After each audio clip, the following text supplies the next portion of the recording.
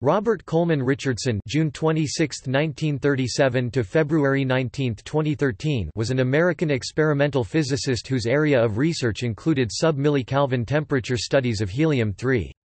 Richardson, along with David Lee, as senior researchers, and then graduate student Douglas Osheroff, shared the 1996 Nobel Prize in Physics for their 1972 discovery of the property of superfluidity in helium-3 atoms in the Cornell University Laboratory of Atomic and Solid-State Physics. Richardson was born in Washington, D.C. He went to high school at Washington Lee in Arlington, Virginia. He later described Washington Lee's biology and physics courses as very old-fashioned for the time, the idea of advanced placement had not yet been invented.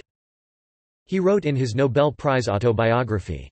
He took his first calculus course when he was a sophomore in college. Richardson attended Virginia Tech and received a B.S. in 1958 and a M.S. in 1960. He received his Ph.D. from Duke University in 1965.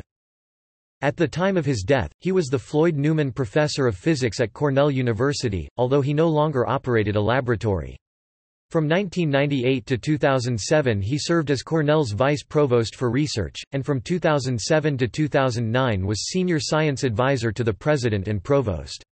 His past experimental work focused on using nuclear magnetic resonance to study the quantum properties of liquids and solids at extremely low temperatures.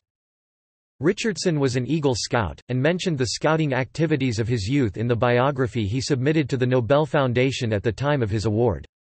Richardson was an atheist. See also Cryogenics Condensed matter physics Timeline of low-temperature technology References Topic. External links Cornell webpage Freeview video interview with Robert Richardson by the Vega Science Trust Obituaries Cornell obituary. Robert Richardson. The Telegraph. The 21st of February 2013. Kenneth Chang, the 21st of February 2013. Robert C. Richardson, laureate in physics, dies at 75. The New York Times. Hamish Johnston, the 21st of February 2013. Robert Richardson, 1937 to 2013. Physicsworld.com